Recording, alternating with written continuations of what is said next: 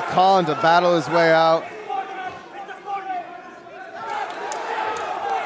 Oh! oh! Oh my goodness! Wow! Jimmy Quinn Holy has just knocked Kashan Khan clean out with one of the best KOs you will ever see. Oh, what a way to win your belt back.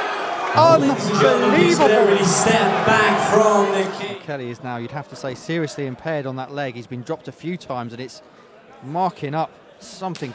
Oh And my that's what you did. goodness!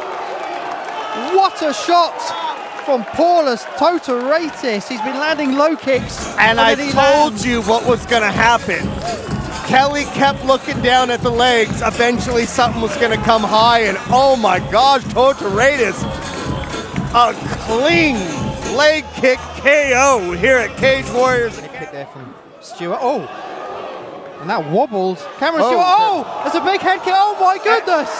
Alfandari, I told you he need to pull out all the stops.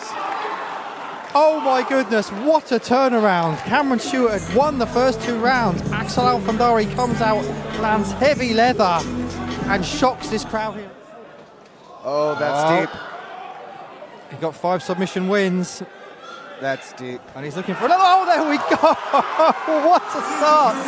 What a pro Jon debut Battle with a Boy. pro debut win. Big submission. Unbelievable stuff from Wonderboy, Jon Vetle Furuheim.